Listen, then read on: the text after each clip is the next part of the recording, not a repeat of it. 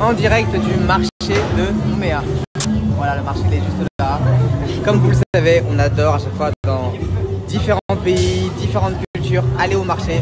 C'est là où on sent vraiment la culture de l'île et c'est vraiment sympa. Il n'y a pas à dire.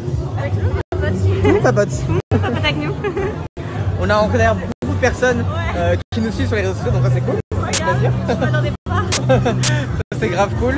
Donc les gars, vous inquiétez pas, on va suivre votre programme à la clé et on va vraiment kiffer la Nouvelle-Calédonie. Eh, c'est sympa ça.